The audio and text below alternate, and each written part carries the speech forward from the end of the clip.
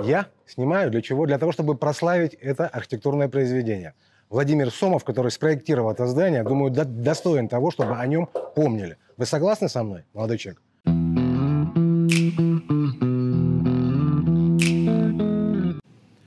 Всем привет!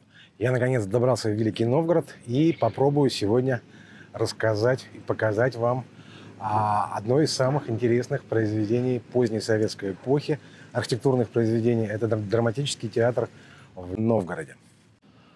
Это здание было спроектировано еще в 70-х годах прошлого века под руководством Владимира Сомова. И построено оно было и за- запущено в 1982 году. Здание, на мой взгляд, замечательное во всех отношениях. Ну, во первую очередь, а, с точки зрения архитектурной выразительности, во вторую, да и во вторую, с точки зрения архитектурной выразительности. Потому что совершенно сумасшедшая пластика, совершенно су- сумасшедшая работа с объемом. Мне кажется, мы больше нигде не сможем увидеть такой работы. А, я не знаю, что было в голове у архитектора, когда он это делал, но та свобода, с которой он обошелся с архитектурной формой, она просто потрясает. Я думаю, что здесь за- за- заложено еще до- достаточно много си- си- символических загадок, которые вот просто так не, расшифру, не расшифровать. Но, тем не менее, смотрите, даже такие вспомогательные элементы, как вот первый пандус слева, видите, от башни вверх на второй а ярус идет пандус, который за- заканчивается в конце дебаркадером, техническим для разгрузки, видимо, де- декораций. И вот справа такой же элемент. Даже такой тех- технологический а, предмет, такой те- технологический элемент был а, превращен автором в а, очень выразительный, очень яркий акцент этого здания. Я еще пройду по кругу и с каждой то- то- точки вам покажу это здание. Вы, думаю, со мной со- согласитесь, что а, вот такого уровня, такого качества, такой силы архитектуры, ну, редко где увидишь. А я сейчас двигаюсь вдоль главного фасада, вдоль главного входа. Он обращен в сторону реки Волхов на набережную. Вот. И вот это здесь, видимо, главный вход.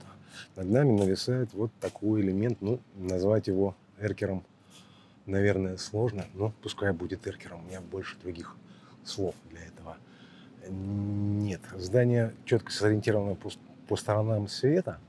И вот а, диагоналями своими выходит как раз запад, восток, север, юг. Почему такая ориентация была выбрана, не знаю. Ну, может быть, для того, чтобы опять придать дополнительной динамики всему, что мы здесь видим. Вот две прекрасные обходные галереи.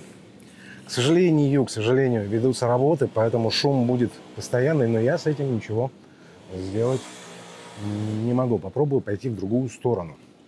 По одной из галерей, вот как раз туда, где мы видим одну из таких странных опор в виде полушара, которая поддерживает пандус дебаркадера. А, очень интересна сама структура архитектурная.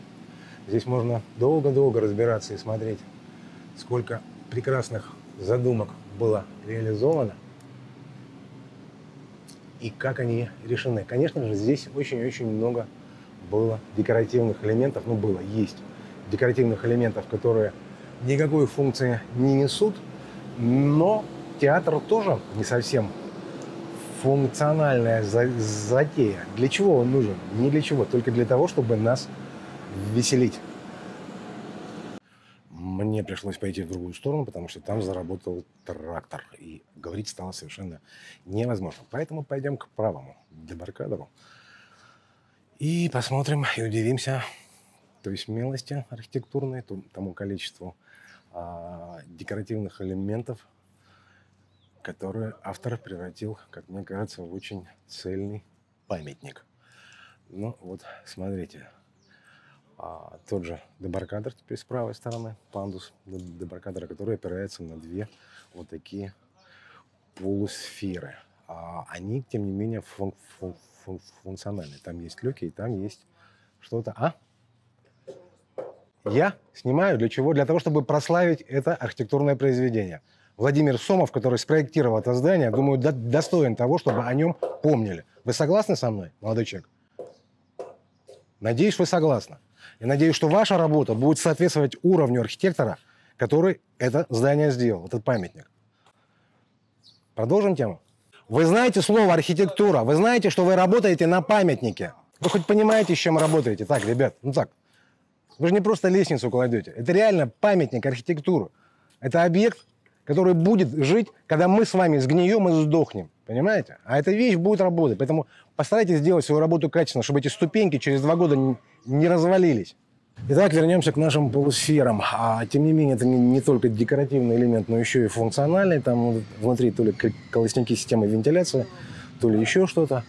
Вот здесь за ними вот так игриво обыгранная вспомогательная винтовая лестница, которая ведет от разгрузочных ворот к какой-то потайной дверце. Очень интересно было бы, конечно, поработать с планировками этого здания, посмотреть их.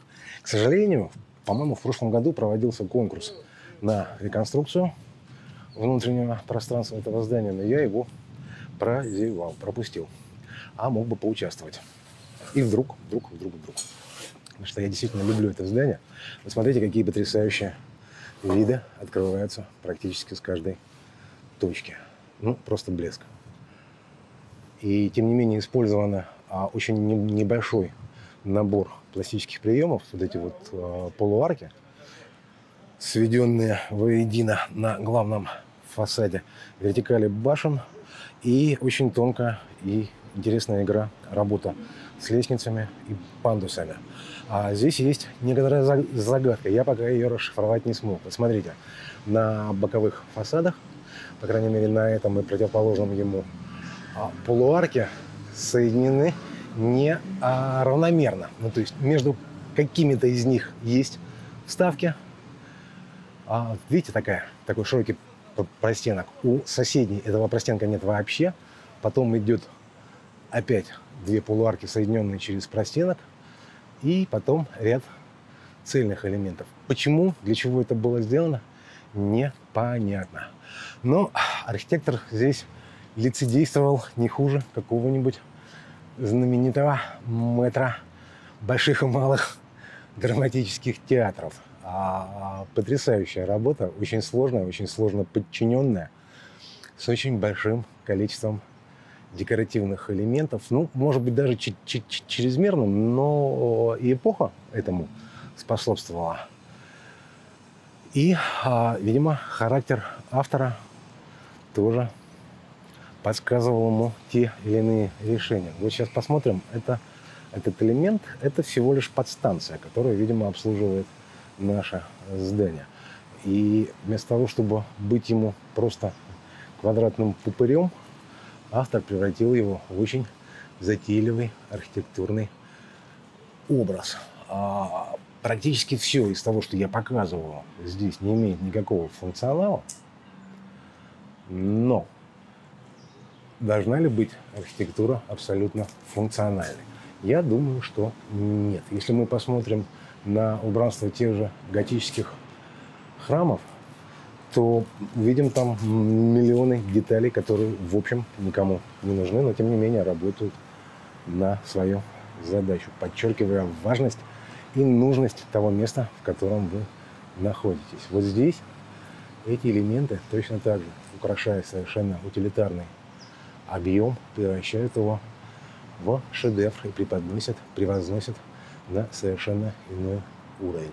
Да, сейчас это выглядит, может быть, не совсем аккуратно, но немножко напрягитесь давайте вместе со мной пред- представим, как прекрасно это будет выглядеть, когда все будет отделано, почищено и приведено в порядок. А Я думаю, что Новгород имеет в лице этого здания такой же шедевр, как и те храмы, которые находятся на Ярославовом городище, а, ну и вообще разбросаны по всей новгородской земле. Мне кажется, что это здание не уступает в силе образности, в силе мысли, в силе духа, которое нужно было проявить, чтобы его построить ни одному из тех храмов. А Мои поздравления архитектору. Я не знаю, жив ли он до сих пор, надеюсь, что да. А, это прекрасная работа, это действительно памятник архитектуры. Кстати, если немного поразмышлять о стилистике, то, ну, наверное, здание все-таки выпадает из а, термина советский брутализм. Модернизм в этом случае очень размытое понятие, которое объединяет в себе очень-очень много поднаправлений. И мне кажется, для того, чтобы вот этому зданию быть брутальным, ему не хватает тяжеловесности и, скажем так, композиционной сдержанности. Здесь все очень и очень свободно, как мне кажется. К сожалению, очень тяжело найти правильную точку без дрона. Дроном я не умею пользоваться, поэтому будем смотреть вот на таких панорамках. Вернемся к стилистике. А, как сказал раньше, здесь практически один мотив вот этой такой сложной полуарки, который использован во всех фасадах, а, он придает зданию такую совершенно очаровательную глубину. При этом, в общем, можно, если абстрагироваться, то представить себе этой колоннадой, которая обрамляет храм, ну вот периптер, да, как в старые добрые времена.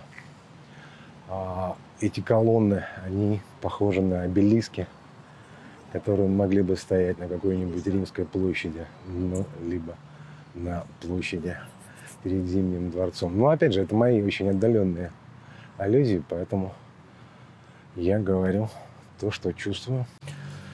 Очень здорово, что ведутся такие большие работы по приведению этого здания, этой территории в надлежащий вид. А выделены огромные деньги, это не может не радовать. Очень много работ уже проведено, по крайней мере, снаружи. А я думаю, что, наверное, работы ведутся и внутри. И, видимо, финальной частью будет реставрация фасадов. Вот здесь, наверное, будет одна из самых сложных задач.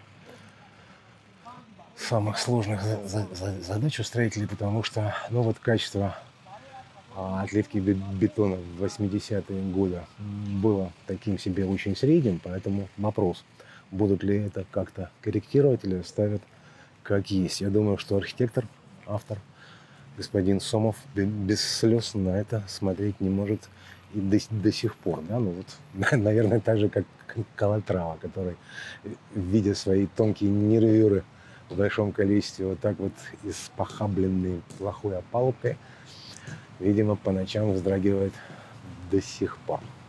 Ну, а мы вернемся к общей композиции здания. Здесь нижний стилобат развернут диагонально по, по сторонам света, то есть на углы ориентированы, углы ориентированы на север, юг, восток, запад.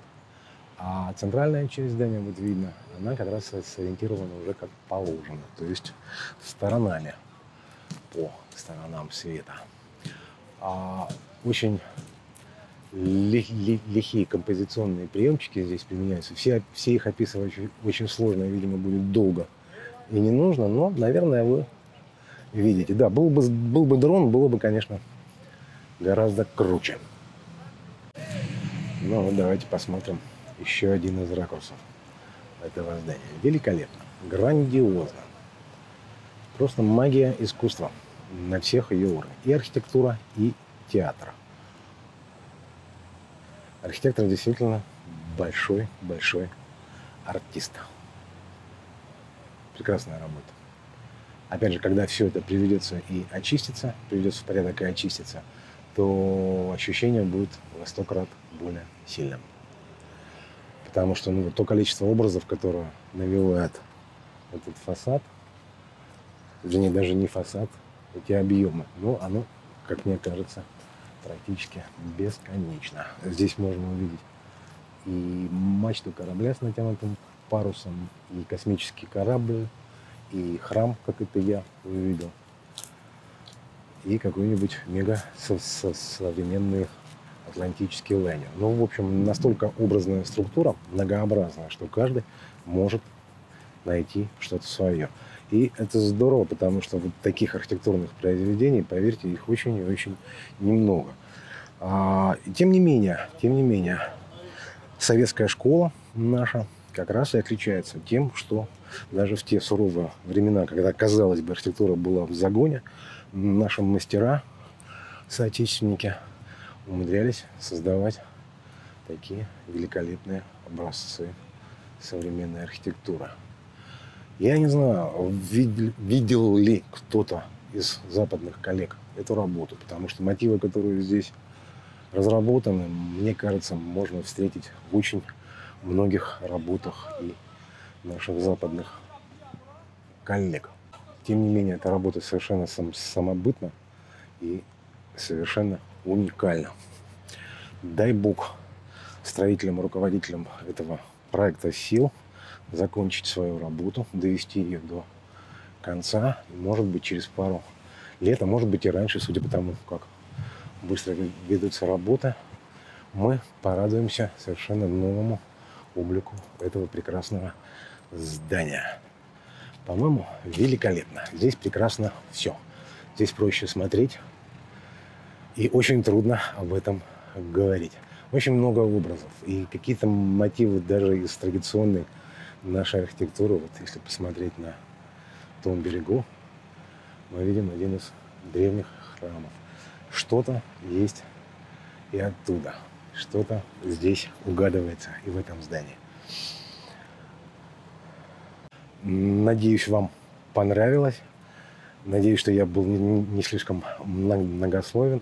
И надеюсь, что вы теперь тоже захотите съездить в Великий Новгород и посмотреть на этот шедевр. Пусть он еще не закончен, но он достоин того, чтобы посетить это место и насладиться этой архитектурой. Всем пока!